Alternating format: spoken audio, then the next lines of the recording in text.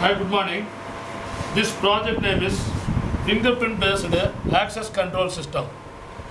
In this project content transformers, power supply, 5 volt power supply, DS PIC microcontroller 30F4013, LCD display, RS232, electromagnetic lock, status LED, green and red, key switches for the fingerprint accessing. This is the fingerprint sensor. This is 12 volt adapter power supply. This is the alarm. In this project, initially demonstration purpose,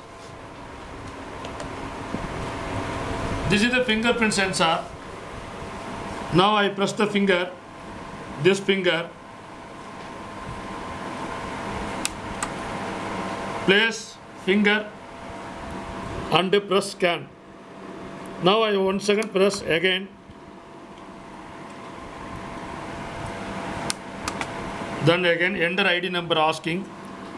Enter ID number. This is the increment key. Now I store the finger in fourth location.